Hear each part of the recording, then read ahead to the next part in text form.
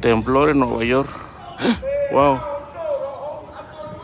Acabó de temblar.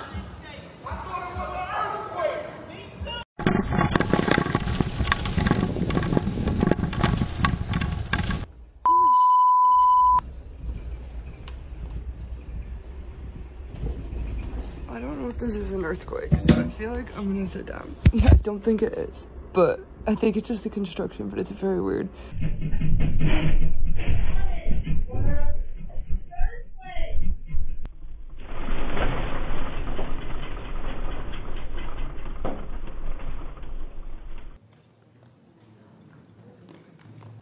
Go ahead. Education is. Earthquake. Is that an earthquake? Yeah. Oh, well, education is. You're, you're making the ground shake. Education is in many ways. Madam President, am I okay to continue?